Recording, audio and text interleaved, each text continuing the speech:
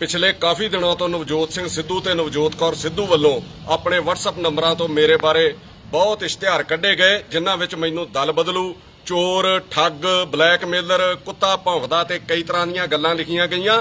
ਵੈਸੇ ਤਾਂ ਮੇਰੇ ਤੇ ਤੁਹਾਡੀਆਂ ਇਹਨਾਂ ਬੇਤੁਕੀਆਂ ਗੱਲਾਂ ਦਾ ਕੋਈ ਅਸਰ ਨਹੀਂ ਹੈ, ਪਰ ਮੈਂ ਤੁਹਾਡੀ ਕੱਲੀ ਕੱਲੀ ਗੱਲ ਦਾ ਜਵਾਬ ਦੇਣਾ ਔਰ ਸੱਚੀਆਂ ਸੁਣਾਉਣ ਲੱਗਾ ਔਰ ਸੱਚ ਸੁਣ ਕੇ ਪੀੜ ਤੁਹਾਨੂੰ ਬਹੁਤ ਹੋਣੀ ਹੈ। ਪਹਿਲਾ ਇਲਜ਼ਾਮ ਇਹਨਾਂ ਮੇਰੇ ਤੇ ਲਾਇਆ ਕਿ ਮੈਂ ਪਹਿਲਾਂ ਨੀਲੀਆਂ ਪੱਗਾਂ ਵਾਲਿਆਂ ਨਾਲ ਸੀਗਾ ਫਿਰ ਮੈਂ ਚਿੱਟੀਆਂ ਨਾਲ ਆ ਗਿਆ। ਮੈਂ ਤੈਨੂੰ ਕਹਿਣਾ ਕਿ ਮੇਰਾ ਤੇ ਕੋਈ ਜ਼ਮੀਰ ਹੈ ਮੈਂ ਤੁਹਾਡੇ ਵਰਗਾ ਬੇਜ਼ਮੀਰਾ ਨਹੀਂ ਆ ਕਿ ਆਪਣਾ ਫਾਇਦਾ ਤੇ ਤਾਕਤ ਵੇਖ ਕੇ ਪੱਗਾਂ ਦੇ ਰੰਗ ਬਦਲ ਲਵਾਂ। ਮੈਂ ਤੇ ਜਿੰਨੀ ਵਾਰੀ ਪੱਗ ਦਾ ਰੰਗ ਬਦਲਿਆ, ਸਰਕਾਰਾਂ ਦੇ ਉਲਟ ਬਦਲਿਆ, ਨਾ ਕਿ ਤੁਹਾਡੇ ਵਾਂਗ ਜਿਵੇਂ ਤੁਸੀਂ ਕਰਦੇ ਹੋ, ਆਪਣੀ ਪੱਗ ਦਾ ਰੰਗ ਤੇ ਤੇਰੀ ਘਰ ਵਾਲੀ ਆਪਣੀ ਚੁੰਨੀ ਦਾ ਰੰਗ ਸਰਕਾਰ ਜਿੱਦੀ ਹੋਵੇ, ਉਹਦੇ ਅਨਸਾਰ ਹੀ ਬਦਲ ਲੈਂਦੇ ਹੋ। ਮੈਂ ਤੇ 10 ਸਾਲਾਂ ਤੋਂ ਸਰਕਾਰਾਂ ਜਾਂ ਉਹਨਾਂ ਜ਼ਾਲਮਾਂ ਦੇ ਖਿਲਾਫ ਬੋਲਦਾ, ਜਿਨ੍ਹਾਂ ਖਿਲਾਫ ਬੋਲਣ ਦੀ ਕੋਈ ਹਿੰਮਤ ਨਹੀਂ ਕਰਦਾ। ਤੇ ਤੁਸੀਂ ਇਸ ਦੇ ਉਲਟ, ਜਿਹਦਾ ਰਾਜ ਹੋਵੇ ਜਿਸ ਦੀ ਹਵਾ ਹੋਵੇ ਭਾਵੇਂ ਉਹ ਵਿਕਰਮ ਮਜੀਠੀਆ ਹੋਵੇ ਭਾਵੇਂ ਸੁਖਬੀਰ, ਭਾਵੇਂ ਕੇਜਰੀਵਾਲ, ਭਾਵੇਂ ਮੋਦੀ, ਉਸੇ ਦੇ ਮਗਰ ਚਲੇ ਜਾਂਦੇ ਹੋ। ਤੇ ਜੇ ਕੈਪਟਨ ਦੀ ਹਵਾ ਚੱਲੀ, ਤੇ ਉਹਨੂੰ ਪਿਓ ਬਣਾ ਕੇ ਉਹਦੇ ਮਗਰ ਲੱਗ ਪਏ। ਜਿਸ ਨੂੰ ਤੂੰ 4-5 ਵਾਰੀ ਦੀ ਆਪਣੀ ਜਿੱਤ ਦੱਸਦਾ, ਉਹ ਤੇਰੀ ਜਿੱਤ ਨਹੀਂ ਹੈ। ਜਿਸ ਨੂੰ ਜਿੱਤ ਸਮਝ ਕੇ ਤੂੰ ਆਪਣੀਆਂ ਟਾਰਾਂ ਮਾਰਦਾ, ਉਹ ਤੁਹਾਡੀ ਦੋਵਾਂ ਜੀਆਂ ਦੀ ਦਲ ਬਦਲੀ ਦੀ ਜਿੱਤ ਹੈ। ਔਰ ਹੰਕਾਰ ਤੁਹਾਡੇ ਦੋਵਾਂ ਵਿੱਚ ਇੰਨਾ ਤੇ ਅਹਿਸਾਨ ਫਰਾਮੋਸ਼ ਤੁਸੀਂ ਐਡੇ ਵੱਡੇ ਹੋ ਕਿ ਜਿਸ ਦੇ ਸਿਰ ਤੇ ਬਣਦੇ ਹੋ ਫਿਰ ਉਹਨੂੰ ਹੀ ਗਾਲਾਂ ਕੱਢਣੀਆਂ ਸ਼ੁਰੂ ਕਰ ਦਿੰਦੇ ਹੋ। ਮੈਨੂੰ ਇੱਕ ਥਾਂ ਦੱਸ ਦੇ, ਜਿੱਥੋਂ ਤੈਨੂੰ ਇੱਜ਼ਤ ਨਾਲ ਵਿਦਾ ਕੀਤਾ ਹੋਵੇ, ਤੇਰਾ ਸਕੂਲ, ਤੇਰਾ ਕਾਲਜ ਤੇਰੀ ਖੇਡ, ਤੇਰੀ ਸਿਆਸਤ, ਜਿੱਥੋਂ ਤੈਨੂੰ ਜਲੀਲ ਕਰਕੇ ਨਾ ਕੱਢਿਆ ਹੋਵੇ, ਮੈਨੂੰ ਦੱਸ। ਇੱਕ ਵੀ ਥਾਂ ਦੱਸ। ਔਰ ਪਿਛਲੇ ਦਿਨੀ ਤੇਰਾ ਤੇ ਪਸ਼ੂ ਵੀ ਲਿਹਾਜ਼ ਨਹੀਂ ਕਰਦੇ। ਪਿੱਛੇ ਜੇ ਇੱਕ ਸਾਂਢ ਤੇਰੇ ਮਗਰ ਪੈ ਗਿਆ, ਤੈਨੂੰ ਮਾਰਨ। ਨੂੰ ਮੈਂ ਤੈਨੂੰ ਕਹਿੰਦਾ, ਜਿਹੜੀਆਂ ਤੇਰੀਆਂ ਹਰਕਤਾਂ ਜੇ ਤੇ ਤੇਰੇ ਮਗਰ ਕੁੱਤੇ ਪੈਣੇ ਆ, ਕਿਉਂਕਿ ਤੈਨੂੰ ਪਤਾ ਹੀ ਨਹੀਂ ਸਾਡੇ ਸੱਭਿਅਕ ਸਮਾਜ ਦੇ ਵਿੱਚ ਰਹਿਣਾ ਕਿੱਦਾਂ। ਉੱਤੋਂ ਥੱਲੇ ਤੱਕ ਲਾਲ ਕੱਪੜੇ ਐ ਪਾ ਲੈਣਾ, ਜਿੱਦਾਂ ਸਟੇਸ਼ਨ ਦੇ ਉੱਤੇ ਸਾਰੀਆਂ ਰੇਲ ਗੱਡੀਆਂ ਤੂੰ ਰੋਕਣੀਆਂ ਵਾ। ਹੁਣ ਤੁਸੀਂ ਦੋਵੇਂ ਜੀ ਭਾਵੇਂ ਗੁੱਸਾ ਕਰੋ, ਭਾਵੇਂ ਰੋਵੋ, ਇਹ ਵੀਡੀਓ ਸੁਣ ਸੁਣ ਕੇ, ਪਰ ਮੈਂ ਤੱਥਾਂ ਤੇ ਗੱਲਾਂ ਕਰਦਾ, ਇੱਕ ਵੀ ਗੱਲ ਝੂਠ ਕਹੂੰਗਾ ਤੇ ਫਿਰ ਫਿਰ ਮੈਂ ਲੋਕਾਂ ਦਾ ਗੁਨਾਹਗਾਰ ਹੋਊਂਗਾ ਪਹਿਲ ਤੁਸੀਂ ਕੀਤੀ ਆ ਮੇਰੇ ਨਾਲ। ਨਵਜੋਤ ਸਿੰਘ ਸਿੱਧੂ, WhatsApp ਦੇ ਉੱਤੇ ਪਿੱਛੇ ਜੇ ਮੇਰੇ ਬਾਰੇ ਇੱਕ ਪੋਸਟ ਪਾਉਂਦੀ ਆ ਉਹਦੇ ਵੱਲੋਂ ਕਿ ਕੁੱਤਾ ਭੌਂਕਦਾ, ਇਹਨੂੰ ਸੰਗਲ ਕੌਣ ਪਾਊਗਾ? ਤੇ ਥੱਲੇ ਇਹਦੇ ਹੀ ਪੰਜ ਚਾਰ ਚਮਚੇ ਆ। ਉਹ ਲਿਖਦੇ, ਮੈਂ ਪਾਊਂਗਾ ਮੈਂ ਪਾਊਂਗਾ, ਮੈਂ ਤੇ ਕਹੂੰਗਾ ਕਿ ਠਾਕੁਰ ਨੇ ਹਿਜੜੋ ਕੀ ਫੌਜ ਬਣਾਈ ਹੈ। ਹੁਣ ਮੈਂ ਤੈਨੂੰ ਪੁੱਛਣਾ ਚਾਹਣਾ ਕਿ ਬੇਤੁਕੀਆਂ ਗੱਲਾਂ ਕਰਨ ਦੇ, ਲੋਕਾਂ ਦੀਆਂ ਧੀਆਂ ਭੈਣਾਂ ਨੂੰ ਟਿਚਰਾਂ ਕਰਨ ਦੇ, ਲੋਕਾਂ ਦੀਆਂ ਧੀਆਂ ਭੈਣਾਂ ਨੂੰ ਛੇੜਨ ਦੇ, ਪੈਸੇ ਤੂੰ ਲੈਂਦਾ ਰਿਹਾ ਕਪਲ ਦੇ ਸ਼ੋਅ ਦੇ ਵਿੱਚ, ਤੇ ਕੁੱਤਾ ਮੈਂ ਮੈਂ ਤੈਨੂੰ ਕਾਗਜ਼ਾਂ 'ਚ ਸਾਬਤ ਕਰ ਦਿੰਦਾ ਕਿ ਤੂੰ ਕੁੱਤਾ। ਪਟਿਆਲਾ ਕਾਰਪੋਰੇਸ਼ਨ ਨੇ ਜਿਹੜੀ ਉਦੋਂ ਕਮੇਟੀ ਹੁੰਦੀ ਸੀ ਉਸਨੇ 20 ਅਕਤੂਬਰ 1963 ਵਾਲੇ ਦਿਨ 100 ਹਲਕਾਇਆ ਕੁੱਤਾ ਮਾਰਿਆ ਸੀ, ਕਾਗਜ਼ਾਂ 'ਚ ਦਰਜ ਹੈ। ਉਸ ਦਿਨ ਤੇਰਾ ਜਨਮ ਹੋਇਆ ਸੀਗਾ ਤੇ ਕੁੱਤਾ ਮੈਂ ਆ। ਸੰਗਲੀ ਦੀ ਮੈਨੂੰ ਲੋੜ ਨਹੀਂ ਗਈ। ਸੰਗਲੀ ਤੇਰੀ ਘਰ ਵਾਲੀ ਤੈਨੂੰ ਪਾਵੇ, ਜਿਹਨੂੰ ਛੱਡ ਕੇ ਤੂੰ ਆਪਣੇ ਸ਼ੋਅ ਦੇ ਵਿੱਚ ਬਾਹਰਲੀਆਂ ਜਨਾਨੀਆਂ ਦੇ ਮਗਰ ਤੁਰਿਆ ਫਿਰਦਾ ਔਰ ਉਹਦੇ ਗਮ ਦੇ ਵਿੱਚ ਉਹ ਕਈ ਵਾਰੀ ਹਸਪਤਾਲ ਗਈ। ਸੰਗਲ ਉਹ ਤੈਨੂੰ ਪਾਵੇ ਜਾਂ ਤੂੰ ਸੰਗਲ ਉਹਨੂੰ ਪਾ, ਜਿਹਨੇ ਤੈਨੂੰ ਕਿਸੇ ਘੜੇ ਦਾ ਢੱਕਣ ਨਹੀਂ ਛੱਡਿਆ। ਤੇ ਸੱਤਾ ਦੇ ਲਾਲਚ ਉਹਨੇ ਇਹੋ ਜਿਹਾ ਕੋਈ ਘਰ ਨਹੀਂ ਛੱਡਿਆ ਜਿਹੜਾ ਤੈਨੂੰ ਨਾ ਵਿਖਾਇਆ ਹੋਵੇ। ਕਾਲੀ ਭਾਜਪਾ, ਕੇਜਰੀਵਾਲ ਕਾਂਗਰਸ ਬੈਂਸ, ਸੋ ਸੰਗਲ ਦੀ ਤੁਹਾਨੂੰ ਲੋੜ ਹੈ, ਨਾ ਕਿ ਮੈਨੂੰ ਲੋੜ ਹੈ। ਮੈਡਮ ਕਹਿੰਦੀ ਹੈ, ਆਪਣੇ ਪਿਓ ਦੇ ਸਮਾਨ ਸਿੱਧੂ ਨੂੰ ਗਾਲਾਂ ਕੱਢਦਾ। ਮੇਰਾ ਪਿਓ ਇਹ ਕੀ ਬਣੂਗਾ? ਜਿਹੜਾ ਆਪਣੇ ਨਿਆਣਿਆਂ ਦਾ ਨਹੀਂ ਬਣਿਆ, ਮੁੰਡਾ ਤੇਰਾ ਤੈਨੂੰ ਮਿਲ ਕੇ ਰਾਜੀ ਨਹੀਂ, ਤੇ ਪਿਓ ਤੂੰ ਮੇਰਾ ਬਣੇਗਾ? ਹੁਣ ਮੇਰੀ ਵੀਡੀਓ ਤੋਂ ਬਾਅਦ ਲੋਕਾਂ ਦੀਆਂ ਅੱਖਾਂ 'ਚ ਘੱਟਾ ਪਾਉਣ ਲਈ ਭਾਵੇਂ ਤੁਹਾਡਾ ਪਿਓ ਪੁੱਤਾਂ ਦਾ ਭਰਤ ਮਲਾਪ ਹੋ ਜਾਵੇ। ਆ ਪਿੱਛੇ ਜੇ ਆਪਣੀ ਘਰ ਵਾਲੀ ਤੇ ਆਪਣੇ ਮੁੰਡੇ ਦਾ ਅਹੁਦਾ ਛੱਡ ਕੇ ਜਿਸ ਨੂੰ ਤੂੰ ਪੰਜਾਬ ਦੀ ਕੁਰਬਾਨੀ, ਪੰਜਾਬ ਲਈ ਕੁਰਬਾਨੀ ਦਾ ਨਾਂ ਦੇ ਰਿਹਾ, ਅਸਲੀਅਤ ਇਹ ਹੈ ਕਿ ਬਾਦਲਾਂ ਨੂੰ ਹਮੇਸ਼ਾ ਪਰਿਵਾਰਵਾਦ ਦੇ ਉੱਤੇ ਘੇਰਨ ਵਾਲਾ ਆਪਣੀਆਂ ਆਪਣੀ ਵਾਰ ਸਾਰੀਆਂ ਕਦਰਾਂ ਕੀਮਤਾਂ ਕੋ ਭੁੱਲ ਗਿਆ। ਆਪਣੀ ਘਰ ਵਾਲੀ ਨੂੰ ਚੇਅਰਮੈਨ ਤੇ ਮੁੰਡੇ ਨੂੰ ਡਿਪਟੀ ਐਡਵੋਕੇਟ ਜਨਰਲ ਲਾ ਕੇ, ਪਰ ਅਸਲ 'ਚ ਜਦੋਂ ਤੇਰੇ ਤੇ ਸਾਰੇ ਪੰਜਾਬੀਆਂ ਨੇ ਚਿੱਕੜ ਸੁੱਟਣਾ ਸ਼ੁਰੂ ਕਰ ਦਿੱਤਾ, ਤੈਨੂੰ ਲਾਹਣਤਾਂ ਪੈਣੀਆਂ ਸ਼ੁਰੂ ਕਰ ਦਿੱਤੀਆਂ, ਤੇ ਤੇਰੇ ਬੇਟੇ ਨੇ ਇਹ ਅਹੁਦਾ ਲੈਣ ਤੋਂ ਇਨਕਾਰ ਕਰ ਦਿੱਤਾ, ਕਿਉਂਕਿ ਤੇਰਾ ਬੇਟਾ ਤੇਰੀਆਂ ਕਾਲੀਆਂ ਕਰਤੂਤਾਂ ਤੇ ਤੇਰੀ ਕਾਲੀ ਕਮਾਈ 'ਚ ਭਾਈਵਾਲ ਨਹੀਂ ਬਣਨਾ ਚਾਹੁੰਦਾ। ਤੇ ਤੂੰ ਆਪਣੇ ਘਰ ਦੇ ਕਲੇਸ਼ ਕਰਕੇ ਛੱਡੇ ਅਹੁਦਿਆਂ ਦੀ ਆੜ 'ਚ ਸਾਰੇ ਪੰਜਾਬ ਨੂੰ ਇਹ ਕਹਿ ਕੇ ਕਿ ਇਹ ਅਹੁਦੇ ਮੈਨੂੰ ਜ਼ਬਰਦਸਤੀ ਦਿੱਤੇ ਗਏ। ਅਸੀਂ ਇਹਨਾਂ ਨੂੰ ਛੱਡ ਰਹੇ ਹਾਂ ਔਰ ਕੈਪਟਨ ਅਮਰਿੰਦਰ ਸਿੰਘ ਨੂੰ ਨੀਵਾ ਵਿਖਾਉਣ ਦੀ ਕੋਸ਼ਿਸ਼ ਕੀਤੀ, ਜਦੋਂ ਕਿ ਇਹ ਅਹੁਦੇ ਤੁਸੀਂ ਇੱਕ ਸਾਲ ਲਿਲੜੀਆਂ ਕੱਢ ਕੱਢ ਕੇ ਕੈਪਟਨ ਅਮਰਿੰਦਰ ਸਿੰਘ ਕੋਲੋਂ ਔਰ ਰਾਹੁਲ ਗਾਂਧੀ ਪ੍ਰਿੰਕਾ ਗਾਂਧੀ ਕੋਲੋਂ ਲਏ ਨੇ। ਕੀ ਤੇਰੇ ਬੇਟੇ ਨੇ ਸਰਕਾਰ ਨੂੰ ਅਰਜ਼ੀ ਨਹੀਂ ਸੀ ਦਿੱਤੀ ਡਿਪਟੀ ਡਿਪਟੀ ਐਡਵੋਕੇਟ ਜਨਰਲ ਬਣਨ ਦੀ? ਕੀ ਤੇਰੀ ਘਰ ਵਾਲੀ ਚੇਅਰਮੈਨ ਨਹੀਂ ਮੰਗਣ ਨਹੀਂ ਗਈ? ਕੀ ਤੇਰੇ ਬੇਟੇ ਨੇ ਆਪਣਾ ਬਾਇਓਡਾਟਾ ਨਹੀਂ ਦਿੱਤਾ ਸਰਕਾਰ ਨੂੰ? ਜਦੋਂ ਚੇਅਰਮੈਨ ਦੀ ਚਿੱਠੀ ਤੁਸੀਂ ਦੋਵੇਂ ਜੀ, ਕੈਪਟਨ ਅਮਰਿੰਦਰ ਸਿੰਘ ਦੇ ਘਰ ਲੈਣ ਗਏ ਹੋ, ਤੇ ਚਿੱਠੀ ਤੇ ਉਦੋਂ ਐਦਾਂ ਸੱਸ ਕੇ ਫੰਡ ਹੋ, ਜਿੱਦਾਂ ਤੁਹਾਡੀ ਦੋਵਾਂ ਜੀਆਂ ਦੀ ਰਿਸੈਪਸ਼ਨ ਹੈ ਤੇ ਉਹ ਤੁਹਾਨੂੰ ਸਗਨ ਪਾਉਣ ਡਿਆ, ਕਿ ਉਦੋਂ ਤੈਨੂੰ ਪੰਜਾਬ ਦੇ ਹਿੱਤ ਤੇ ਪੰਜਾਬ ਦੇ ਸੂਲ ਯਾਦ ਨਹੀਂ ਆਏ ਕਿ ਇਹਨਾਂ ਅਹੁਦਿਆਂ ਦੇ ਉੱਤੇ ਪੰਜਾਬ ਦੇ ਕਾਂਗਰਸੀ ਵਰਕਰਾਂ ਦਾ ਹੱਕ ਹੈ, ਜਿਨ੍ਹਾਂ ਦੀ ਹਿੰਮਤ ਨਾਲ ਸਰਕਾਰ ਬਣੀ ਹੈ? ਕਹਿੰਦੇ, ਮੈਂ ਬਲੈਕਮੇਲਰ ਆ ਕੋਈ ਸਬੂਤ ਤੇ ਦਿਓ ਮੈਂ ਆਪਣੇ ਪਿਓ ਦਾ ਨਹੀਂ, ਜੇ ਲੋਕਾਂ 'ਚ ਜਨਤਕ ਤੌਰ ਤੇ ਆਪਣੀ ਗਲਤੀ ਨਾ ਮੰਨਾਂ ਵੀ ਮੈਂ ਕਿਸੇ ਨਾਲ ਗਲਤ ਕੀਤਾ, ਕੋਈ ਸਬੂਤ ਤੇ ਲਿਆਓ ਮੇਰੇ ਖਿਲਾਫ।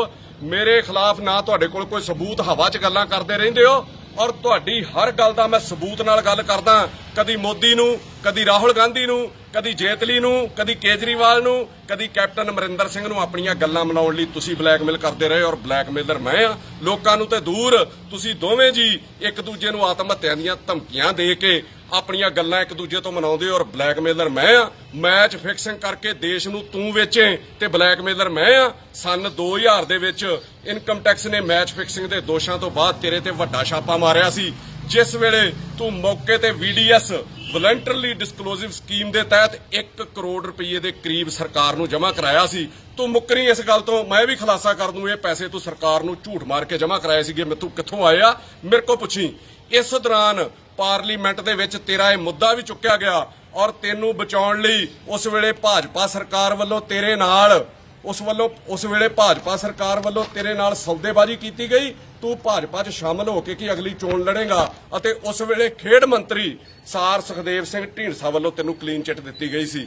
ਤਾਂ ਹੀ ਤਾਂ ਅੱਜ ਕਾਂਗਰਸ ਦੇ ਆਉਣ, ਕਾਂਗਰਸ 'ਚ ਆਉਣ ਦੇ ਬਾਵਜੂਦ ਵੀ ਤੂੰ ਸਾਰ ਸੁਖਦੇਵ ਸਿੰਘ ਢੀਂਡਸਾ ਦੇ ਸੋਲੇ ਗਾਉਂਦਾ ਰਹਿਣਾ। ਔਰ ਮੈਨੂੰ ਤੇ ਇਹ ਗੱਲ ਸਮਝ ਨਹੀਂ ਆਉਂਦੀ ਕਿ ਢੀਂਡਸਾ ਸਾਹਿਬ ਐਡੇ ਵੱਡੇ ਸਿਆਸਤਦਾਨ ਹੋ ਕੇ ਅਕਾਲੀ ਦਲ ਦੇ ਐਡੇ ਮੋਢੀ ਹੋ ਕੇ ਹੋਣ ਦੇ ਬਾਵਜੂਦ ਵੀ ਤੇਰੇ ਇਸ ਅਖੌਤੀ ਇਮਾਨਦਾਰ ਦਾ ਇਸ ਗੱਲ ਦੇ ਉੱਤੇ ਅਜੇ ਤੱਕ ਉਹਨਾਂ ਖੁਲਾਸਾ ਕਿਉਂ ਨਹੀਂ ਕੀਤਾ? ਇਸ ਮਸਲੇ ਦੇ ਉੱਤੇ ਚੁੱਪ ਕਿਉਂ ਨੇ? ਤੇ ਹੁਣ ਪਿਛਲੇ ਦਿਨੀ ਇਨਕਮ ਟੈਕਸ ਨੇ ਫਿਰ ਤੈਨੂੰ ਇੱਕ ਵਾਰੀ ਚੋਰ ਕਿਹਾ, ਦੇਸ਼ ਨੂੰ ਤੂੰ ਵੇਚੇ, ਦੇਸ਼ ਦਾ ਪੈਸਾ ਤੂੰ ਖਾਵੇਂ ਤੇ ਬਲੈਕਮੇਲਰ ਮੈਂ ਆ। ਇਹ ਲੋਕਾਂ ਨੇ ਸਾਡੇ ਦੇਸ਼ ਦਾ ਹਾਲ ਜਿਹੜਾ ਮਾੜਾ ਕੀਤਾ ਹੋਇਆ ਮੈਂ ਸਬੂਤਾਂ ਨਾਲ ਦੱਸਦਾ ਰਹਿਣਾ ਕੋ ਤੇਰੇ ਸਿਰ ਤੇ ਨਜਾਇਜ਼ ਹੋਟਲ ਬਣਾਉਣ ਡਿਆ, ਕੋਈ ਤੇਰੇ ਸਿਰ ਤੇ ਜਾਲੀ ਫਰਮਾ ਬਣਾ ਕੇ ਠੇਕੇ ਲੈ ਕੇ ਸਰਕਾਰੀ ਪੈਸਾ ਖਾਈ ਜਾਂਦਾ ਕੋਈ ਤੇਰੇ ਸਿਰ ਤੇ ਸਮੈਕ ਪੀਂਦਾ ਤੇ ਵੇਚਦਾ, ਕੋਈ ਤੇਰੇ ਸਿਰ ਤੇ ਅਫੀਮ ਦਾ ਕਾਰੋਬਾਰ ਕਰਦਾ ਫਿਰਦਾ ਔਰ ਇਹਨਾਂ ਸਭ ਪੁੱਠੇ ਕੰਮਾਂ ਦੇ ਰੇਟ ਤੈਅ ਕਰ ਲਈ ਤੂੰ ਆਪਣੀ ਘਰ ਵਾਲੀ ਨੂੰ ਮੁਨਸ਼ੀ ਲਾ ਕੇ ਰੱਖਿਆ ਔਰ ਚੋਰ ਮੈਨੂੰ ਕਹਿੰਦੇ ਹੋ, ਲੋਕਾਂ ਤੇ ਅਫਸਰਾਂ ਨੂੰ ਬੜੇ ਤੂੰ ਇਮਾਨਦਾਰੀ ਦੇ ਪਾਠ ਪੜਾਉਣਾ ਇਹਦੀ ਸ਼ੁਰੂਆਤ ਤੂੰ ਆਪਣੇ ਘਰ ਤੋਂ ਕਿਉਂ ਨਹੀਂ ਕਰਦਾ? ਜੇ ਸਹੀ ਮੈਨੇ ਚ ਤੂੰ ਇਮਾਨਦਾਰ ਹੈ, ਜਿਹੜੇ ਮੈਂ ਘਪਲੇ ਤੇਰੇ ਤੇ ਤੇਰੀ ਘਰ ਵਾਲੀ ਦੇ ਕੱਢੇ ਆ ਜਾਂ ਅੱਗੋਂ ਕੱਢੂੰਗਾ, ਉਹਦੇ ਤੇ ਸਿੱਟ ਬਿਠਾ, ਉਹਦੀ ਇਮਾਨਦਾਰੀ ਨਾਲ ਜਾਂਚ ਕਰਾ, ਤੈਨੂੰ ਪਤਾ ਲੱਗ ਜਾਊਗਾ ਤੇਰੀ ਇਮਾਨਦਾਰੀ ਜਿਹੜੀ ਉਹ ਕਿੰਨੇ ਪਾਣੀ 'ਚ ਹੈ ਔਰ ਇੰਨੀ ਕਿ ਤੇਰੇ 'ਚ ਜੇ ਦੇਸ਼ ਭਗਤੀ ਭਰੀ ਆ, ਤੇ ਫਿਰ ਆਪਣੀ ਘਰ ਵਾਲੀ ਤੋਂ ਕੋ ਡਰਦਾ, ਉਹਦੇ ਪੁੱਠੇ ਕੰਮਾਂ ਦੀ ਜਾਂਚ ਕਿਉਂ ਨਹੀਂ ਕਰਾਉਂਦਾ? ਤੁਹਾਨੂੰ ਵਿਕਾਸ ਨਾਲ ਕੋਈ ਲੈਣਾ ਦੇਣਾ ਨਹੀਂ। ਵਿਕਾਸ ਦੇ ਨਾਂ ਤੇ ਤੁਹਾਨੂੰ ਦੋਵਾਂ ਜੀਆਂ ਨੂੰ ਚਾਹ ਹੀ ਇੰਨਾ ਚੜ ਜਾਂਦਾ ਕਿ ਸਾਡੀ ਕਮਿਸ਼ਨ ਤੇ ਆਊਗੀ। ਇਸ ਚੱਕਰ ਦੇ ਵਿੱਚ ਤੁਸੀਂ ਦੇਸ਼, ਪੰਜਾਬ ਦਾ ਵਿਕਾਸ ਇਹਨਾਂ ਚੱਕਰਾਂ ਚਾਹੁੰਦੇ ਹੋ ਵੀ ਤੁਹਾਡਾ ਆਪਣਾ ਵਿਕਾਸ ਇਹਦੇ ਨਾਲ ਹੁੰਦਾ ਵਾ। ਮੈਂ ਤੇ ਤੈਨੂੰ ਕਹੂੰਗਾ, ਇਮਾਨਦਾਰੀ ਦੀ ਚਾਦਰ ਲਾ। ਤੂੰ ਗੱਲਾਂ ਕਰਦਾ, ਪੰਜਾਬ ਨਸ਼ਾ ਮੁਕਤ ਕਰਨ ਦੀਆਂ, ਤੇ ਸੁਣ ਸੱਚ ਫਿਰ। ਇੱਕ ਤੇਰਾ ਪੀਏ ਸਵਰਗੀ ਅਮਨ ਸ਼ਰਮਾ ਜਿਸ ਨੂੰ ਤੇਰੇ ਤੇ ਤੇਰੀ ਮੈਡਮ ਦੇ ਸਾਰੇ ਰਾਜ ਤੇ ਸਾਰੇ ਪੁੱਠੇ ਕੰਮਾਂ ਦਾ ਪਤਾ ਸੀਗਾ ਉਸ ਨੂੰ ਤੇਰੇ ਦੂਜੇ ਪੀਏ ਨੇ ਨਸ਼ਾ ਲਾ ਕੇ ਜਿਹੜਾ ਨਸ਼ਾ ਉਹ ਆਪ ਕਰਦਾ ਸੀਗਾ ਓਵਰਡੋਜ਼ ਦੇ ਦੇ ਕੇ ਮਾਰ ਦਿੱਤਾ, ਉਹਦਾ ਪੋਸਟਮਾਰਟਮ ਕਿਉਂ ਨਹੀਂ ਕਰਾਇਆ ਤੂੰ? ਉਹਦੇ, ਉਹ ਜਦੋਂ ਮਰਿਆ, ਉਹਦੀ ਜਾਂਚ ਕਿਉਂ ਨਹੀਂ ਹੋਈ ਵੀ ਤੂੰ ਮਰਿਆ ਕਿਹੜੀ ਗੱਲੋਂ ਆ? ਮੈਂ ਤੈਨੂੰ ਲਿਸਟ ਦਿੰਨਾ ਤੇਰੇ ਬੰਦਿਆਂ ਦੀ, ਜਿਹੜੇ ਹਰ ਵੇਲੇ ਤੇਰੀ ਕੋਠੀ 'ਚ ਰਹਿੰਦੇ ਆ। ਹਿੰਮਤ ਹੈ ਤਾਂ ਕਰਾ ਉਹਨਾਂ ਦਾ ਡੌਪ ਟੈਸਟ। ਪੰਜਾਬ ਨਸ਼ਾ ਮੁਕਤ ਬਾਅਦ ਚੋਂ ਕਰ ਲਈ, ਪਹਿਲਾਂ ਆਪਣੀ 5000 ਗਜ ਦੀ ਕੋਠੀ ਜਿਹੜੀ ਉਹ ਨਸ਼ਾ ਮੁਕਤ ਕਰ ਲਾ। ਜੇ ਕੋਈ ਕਸਰ ਰਹਿ ਗਈ, ਤੇ ਅਗਲੀ ਵੀਡੀਓ 'ਚ ਇਹ ਵੀ ਦੱਸ ਦੂੰ ਕਿ ਤੇਰੇ ਘਰ 'ਚ ਨਸ਼ੇੜੀਆਂ ਦੇ ਨਾਲ ਨਾਲ ਪਾਗਲ ਕੌਣ ਹੈ? ਤਾਂ ਜੋ ਤੇਰੇ ਘਰ ਪਾਗਲਖਾਨੇ ਦਾ ਡਾਕਟਰ ਗੋਇਲ ਹਰ ਹਫ਼ਤੇ ਕੀ ਕਰਨ ਆਉਂਦਾ ਰਿਹਾ। ਕਹਿੰਦੀ ਹੈ ਸਿੱਧੂ ਨੂੰ ਬੁੱਧੂ ਕਹਿੰਦਾ। ਅੱਜ ਮੈਂ ਅਖੀਰਲੀ ਵਾਰ ਇਸ ਵੀਡੀਓ 'ਚ ਕਹਿਣ ਲੱਗਾ, ਜੇ ਕੋਈ ਸ਼ੱਕ ਸ਼ੁਬਾ ਰਹਿ ਗਿਆ, ਤਾਂ ਪੁੱਛ ਲਈ ਆਪਦੇ ਘਰ ਵਾਲੇ ਨੂੰ। ਕਿ ਸਾਫ਼ ਕਰ ਦੂੰਗਾ ਅਗਲੀ ਵੀਡੀਓ ਦੇ ਵਿੱਚ। ਉਹ ਸਿੱਧੂ ਹੈ, ਬੁੱਧੂ ਹੈ ਕਿ ਕੁਝ ਹੋਰ ਹੀ ਹੈ, ਕਿਉਂਕਿ ਆਪਣੇ ਪਰਿਵਾਰ ਬਾਰੇ ਉਹ ਬੰਦਾ ਹਮੇਸ਼ਾ ਝੂਠ ਬੋਲਦਾ ਰਿਹਾ ਕਿ ਮੇਰਾ ਪਰਿਵਾਰ ਬੜਾ ਅਮੀਰ ਹੈ, ਮੇਰਾ ਦਾਦਾ ਅੰਗਰੇਜ਼ਾਂ ਦੇ ਨਾਲ ਸੀਗਾ, ਮੇਰਾ ਦਾਦਾ ਅੰਗਰੇਜ਼ਾਂ ਦੇ ਵਿੱਚ ਸਰਕਾਰ 'ਚ ਸੀਗਾ। ਇਹੋ ਜਿਹੇ ਅਸੀਂ ਪੰਜਾਬੀ ਭੋਲੇ ਭਾਲੇ ਲੋਕ ਇਹਦੀਆਂ ਗੱਲਾਂ ਦੇ ਉੱਤੇ ਯਕੀਨ ਕਰ ਲੈਂਦੇ ਆ ਮੈਂ ਤੈਨੂੰ ਕਹਿਣਾ ਚਾਹੁੰਦਾ ਕਿ ਜਿਹੜੇ ਲੋਕ ਅੰਗਰੇਜ਼ਾਂ ਨਾਲ ਉੱਚ ਅਹੁਦਿਆਂ ਤੇ ਰਹੇ ਆ, ਜਿਵੇਂ ਕਿ ਵਿਕਰਮ ਮਜੀਠੀਆ ਹੋ ਗਿਆ, ਉਹਨਾਂ ਲੋਕਾਂ ਉਹਦਾ ਦਾਦੇ ਪੜਦਾਦੇ ਹੋ ਗਏ, ਭਾਵੇਂ ਅੰਗਰੇਜ਼ਾਂ ਦੇ ਹੱਥ ਠੋਕੇ ਬਣ ਕੇ ਦੇਸ਼ ਨਾਲ ਗੱਦਾਰੀ ਕਰਦੇ ਰਹੇ ਆ। ਪਰ ਉਹਨਾਂ ਦਾ ਇਤਿਹਾਸ 'ਚ ਕਿਤੇ ਨਾਂ ਬੋਲਦਾ ਇਤਿਹਾਸ 'ਚ ਉਹਨਾਂ ਦੇ ਨਾਮ ਦਰਜ ਹਨ। ਪਰ ਤੇਰਾ ਦਾਦਾ ਕੀ ਸੀਗਾ ਭਰਾਵਾ? ਸਾਨੂੰ ਤੇ ਅਜੇ ਤੱਕ ਪਤਾ ਨਹੀਂ ਲੱਗਾ ਕਿ ਤੇਰੇ ਦਾਦੇ ਦਾ ਕੀ ਨਾਂ ਸੀਗਾ ਉਹ ਅੰਗਰੇਜ਼ਾਂ ਦੇ ਨਾਲ ਕੀ ਸੀਗਾ। ਨਾਂ ਸੀ ਕਿਸੇ ਕਿਤਾਬ 'ਚ ਪੜਿਆ ਇੰਨਾ ਮੈਂ ਪੜਦਾ ਰਹਿਣਾ ਨਾ ਮੈਨੂੰ ਕਿਤੇ ਤੇਰਾ ਦਾਦਾ ਲੱਭਾ। ਫਿਰ ਅੰਗਰੇਜ਼ਾਂ ਦੇ ਨਾਲ ਮਾਲਸ਼ੀਆ ਮੂਲਸ਼ੀਆ ਰਿਹਾ ਹੋਣਾ ਕੱਚਿਆਂ 'ਚੋਂ ਤੇ ਪੱਕਿਆਂ 'ਚ ਹੈ ਹੀ ਕਿਤੇ ਨਹੀਂ, ਉਹਦੀ ਕਿਤੇ ਤਨਖਾਹ ਕਿਤੇ ਮੇਰੇ ਖਿਆਲ ਪੀਣ ਦੀ ਵੀ ਨਹੀਂ ਜਾਂਦੀ ਰਹੀ। ਤੇਰੇ ਦਾਦੇ ਦੀ ਸਾਨੂੰ ਦੱਸ ਦੇ ਤਈ। ਤੇਰੇ ਖਾਨਦਾਰ ਬਾਰੇ ਜੇ ਤੈਨੂੰ ਨਹੀਂ ਪਤਾ ਤੇ ਮੈਨੂੰ ਪੁੱਛ ਲਾ। ਮੈਂ ਤੇਰੇ ਖਾਨਦਾਨ ਤੇ ਡੀ ਕਰਨ ਪਿਛਲੇ ਦਿਨਾਂ ਤੋਂ। ਪਿਛਲੇ ਪਿਤਾ ਜੀ ਤੇਰੇ ਵਕੀਲ ਸੀਗੇ ਔਰ ਕਾਂਗਰਸ ਦੀ ਮਿਹਰਬਾਨੀ ਨਾਲ ਉਹ ਐਡਵੋਕੇਟ ਜਨਰਲ ਬਣੇ।